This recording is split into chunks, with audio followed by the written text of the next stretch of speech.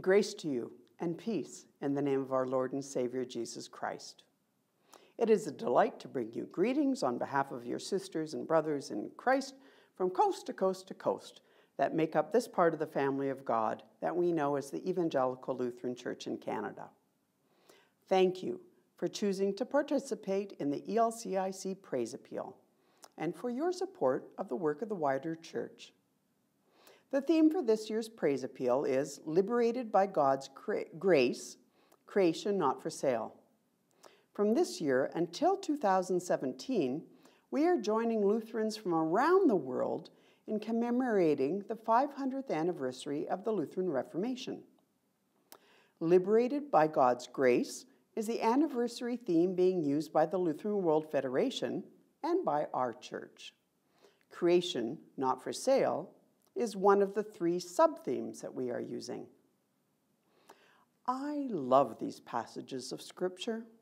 The image from Isaiah of singing mountains and hills and clapping trees, and the image from Romans of the whole creation eagerly awaiting God's revelation are pictures of a lively and vibrant creation that joins in singing praise to God and that joins in weeping for itself and for us in the midst of the brokenness that surrounds us. These images help us to reclaim an understanding of a creation that itself reflects the image of God. When we have that image clearly in front of us, when we have that understanding in our heads and in our hearts, how can we do anything but confess the misuse of our world and repent and change our ways and treat the creation with reverence and respect. Unfortunately, we all struggle with trusting God's promises of provision for our needs. Isaiah calls us to come, buy wine and milk without money and without price. But I wouldn't advise you to go and try and redeem that coupon at your local grocery store. Jesus challenges us, therefore I tell you, do not worry about your life, what you will eat, or about your body, what you will wear. But try telling that to your hungry family when you sit down at the table for supper.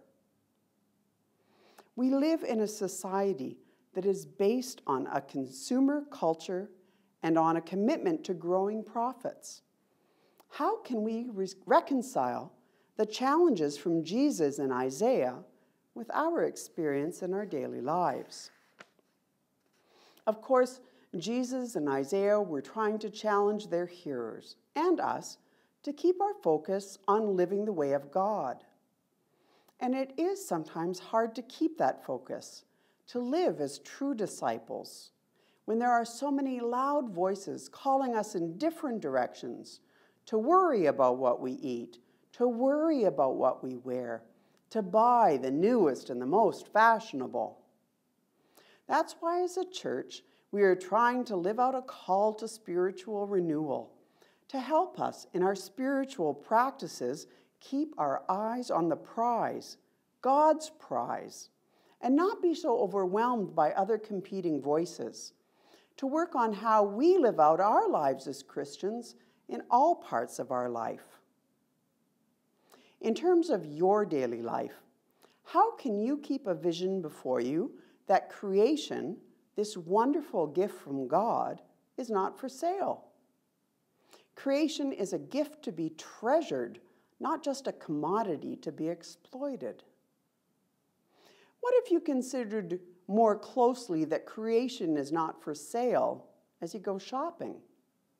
Prepare meals, use water, travel to work or school. What difference would it make to your congregation and the way that it carries out its ministry? Are you one of the 16 congregations accredited as greening congregations in the ELCIC's Stewardship of Creation program? Is that something that you could consider?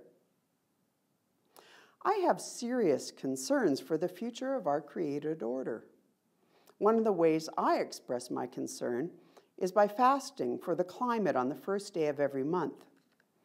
it's a way for me to be both spiritually and physically mindful of both the gift of creation we have received from God and my responsibility as one of the people charged with the stewardship of this gift. My hunger as I fast underlines the abundant lifestyle that I am used to, at least in comparison to the majority of people around the world. That I am able to take my next meal for granted. I distract myself from my hunger by going for a walk. Being in the beauty of creation allows me to appreciate this good gift we have received. In contrast, I remember the places that I have been in Canada and around the world where our human greed has devastated the land, damaging ecosystems and endangering the people who live nearby. Despite the many challenges we face, we know that in the end it is God's world and that we are part of God's church. We do not know for sure how things are going to turn out, but we know that with God they will be good. As faithful people committed to living out our discipleship, as those who have been liberated by God's grace, we know that with God we will be blessed and that with God's help we will be a blessing to others. Through your gift to the praise appeal, you join with the whole creation in praising God.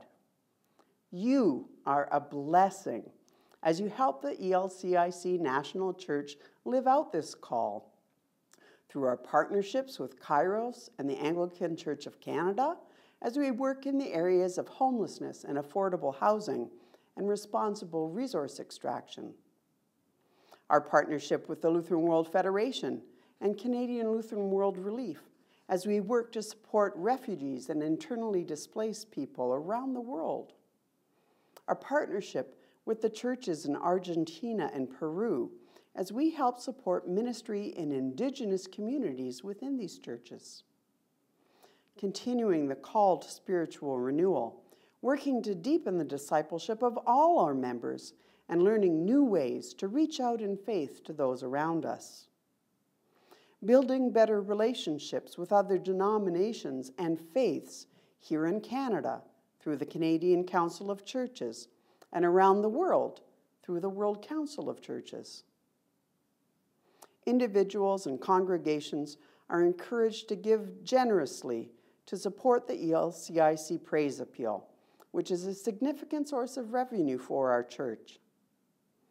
Thank you for your commitment to deepening your discipleship and being spiritually renewed. Thank you for the ways you work to care for God's gift of creation. Thank you for your support of our collective work in the Evangelical Lutheran Church in Canada. Thank you for your support and participation in this praise appeal. May God bless and strengthen your ministry, both individually and together. Amen.